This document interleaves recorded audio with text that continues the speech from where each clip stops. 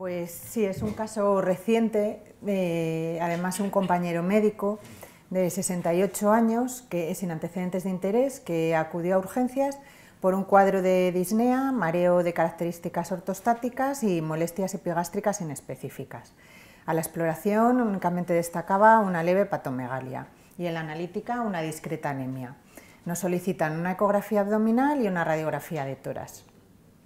En la radiografía de toras únicamente llamaba la atención una discreta cardiomegalia y en la ecografía abdominal pues se confirmaba una discreta patomegalia con aumento del tamaño de la vena cava inferior y las venas suprahepáticas, una discreta ascitis y ya llamaba la atención la presencia de un importante derrame pericárdico motivo por el cual se completó el estudio con un ecocardiograma trastorácico, donde se confirma efectivamente un derrame pericárdico hiperecogénico grave de hasta 30 milímetros en cara inferior, una vena cava inferior dilatada con colapso inspiratorio fisiológico, una función ventricular ligeramente hiperdinámica con una fracción de eyección del 78% y una presión sistólica en la arteria pulmonar normal. El paciente ingresa en la UBI para una pericardiocentesis extrayendo aproximadamente 1.000 centímetros cúbicos de líquido de aspecto hemático. Después de esto el paciente mejora ligeramente y recibe la alta domiciliaria con un tratamiento antibiótico empírico a la espera de una cita en medicina interna para completar el estudio. Pero una semana más tarde tiene que volver a ingresar por eh, agravamiento de los síntomas eh, aparece una intensa astenia y una febrícula mantenida, esta es la nueva radiografía, donde vemos un ensanchamiento de la silueta cardíaca con morfología ligeramente triangular que nos hace sospechar que eh, una nueva recidiva del derrame pericárdico y además un discreto derrame pleural izquierdo. Desde medicina interna nos solicitan un TAC toracoabdominopélvico con la sospecha clínica o bien de una tuberculosis o de una patología tumoral. En este TAC lo que vemos es un discreto derrame pleural bilateral, sobre todo izquierdo, y ya vemos un derrame pericárdico de alta densidad con unas zonas nodulares sólidas, con intensa captación de contraste, que daban un aspecto trabeculado a la aurícula derecha. Y con esta imagen le dimos muchas vueltas porque incluso llegamos a plantearnos que hubiera podido existir una perforación de la aurícula por la pericardiocentesis, circunstancia que descartamos porque al igualarse las presiones deberíamos encontrar un mayor derrame pericárdico, posiblemente una evolución a un taponamiento cardíaco que clínicamente no era el caso.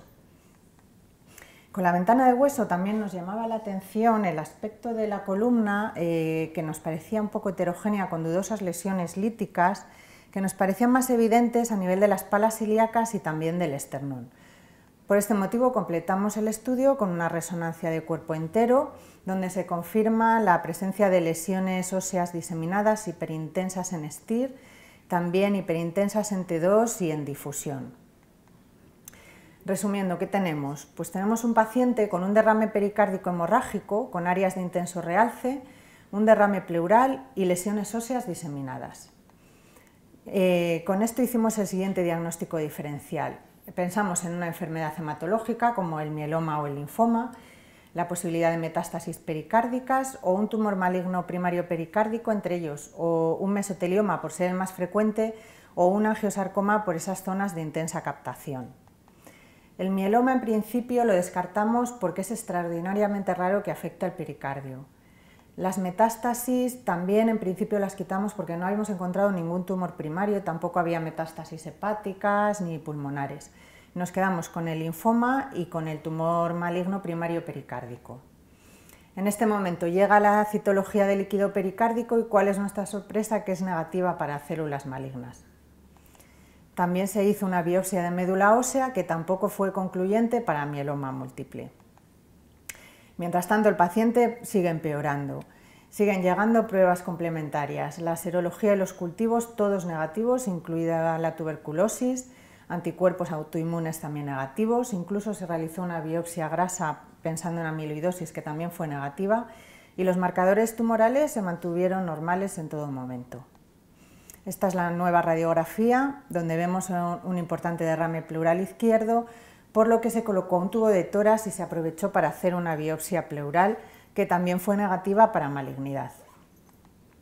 Y perdidos en este laberinto de pruebas diagnósticas, pues decidimos realizar un nuevo TAC de revaluación, que es este, donde vemos una marcada progresión de la afectación pericárdica con un engrosamiento difuso, con zonas de captación de contraste y que englobaba por completo la silueta cardíaca, el origen de los grandes vasos, producía estenosis de las venas pulmonares y probable invasión del miocardio. También realizamos una resonancia donde vemos también una afectación pericárdica difusa con zonas hiperintensas en T1 por el contenido hemorrágico que afectaba sobre todo a los recesos pericárdicos superiores y que mostraba una intensa captación, un intenso realce heterogéneo tras la administración del contraste. En las secuencias cine para estudio de función ventricular no veíamos datos concluyentes de constricción, Sí que es verdad que los ventrículos tenían una morfología ligeramente tuneliforme, pero las aurículas no estaban dilatadas y sobre todo no veíamos eh, un movimiento paradójico del septo con la inspiración del paciente. Signo que sí que se ve en las pericarditis constrictivas, como en este caso es un paciente con un engrosamiento y realce pericárdico, y en las secuencias cine vemos cómo existe un movimiento eh, anómalo del septo eh, con la inspiración, que es más llamativo en septos basales y al inicio de la diástole.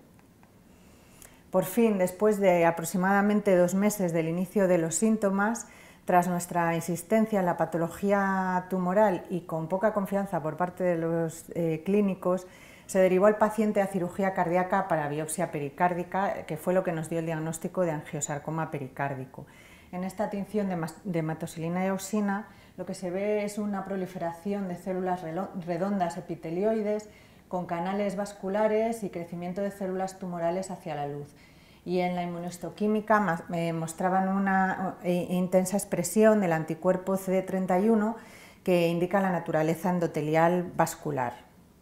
Pues bien, ¿qué quiero que recordéis con todo esto? Pues que los tumores pericárdicos también existen. Existen, aunque son eh, muy poco frecuentes. Las metástasis son hasta mil veces más frecuentes. Por eso siempre hay que hacer una buena historia clínica y un TAC de cuerpo entero buscando un tumor primario. Todos comparten la característica de tener muy mal pronóstico y la clínica desgraciadamente es inespecífica y no nos suele ser de utilidad. Las pruebas de imagen de lección son el TAC y la resonancia, tanto para la detección como caracterización e invasión de estructuras adyacentes, ya que la radiografía y la ecocardiografía generalmente solo ponen de manifiesto un derrame pericárdico. Incluso la ecocardiografía puede tener dificultades en distinguir zonas de coágulos, fibrinas, de nódulos tumorales. Los tumores malignos pericárdicos a tener en cuenta son los siguientes, metástasis, mesotelioma, linfoma y sarcoma, sobre todo el angiosarcoma. Las metástasis, como en este caso de un carcinoma de pulmón avanzado, las solemos ver como nódulos pericárdicos asociados a derrames pericárdicos. El mesotelioma suelen ser engrosamientos pericárdicos infiltrantes con invasión precoz de miocardio asociado a derrame y no siempre existe el antecedente de exposición a asbesto. El linfoma es el gran imitador. Eh, en este caso vemos un derrame pericárdico loculado con captación de la pared que engloba las cavidades cardíacas y el origen de los grandes vasos y se adapta a estas estructuras. Hay que pensar en él sobre todo en pacientes VIH con derrames hemorrágicos de repetición y son linfomas no Hodgkin tipo B. El angiosarcoma se eh, puede presentar como masas focales heterogéneas y con necrosis con intensa captación y en resonancia a veces vemos canales internos con vacío de señal o bien como un engrosamiento difuso pericárdico que incluso puede evolucionar a pericarditis constrictivas. Otros eh, sarcomas son extremadamente infrecuentes como este sarcoma sinovial y como conclusión decir que hay que tener cuidado con los derrames hemorrágicos hay que recordar las tres T's, traumatismo, tuberculosis y tumor, y muy pocas veces nos vamos a equivocar. Si alguna vez os encontráis con un caso similar a este, recordad esta imagen, sobre todo insistid en la biopsia, porque son tumores muy agresivos, con una evolución muy rápida, y si el paciente tiene alguna opción terapéutica hay que diagnosticarlos en fases iniciales. Siempre hay que buscar un tumor primario pensando en metástasis, En los pacientes VIH, acordarse del linfoma. el ecocardiograma tiene una utilidad limitada, por lo que he comentado, y el TAC y la resonancia son las técnicas más rentables. Esto es todo.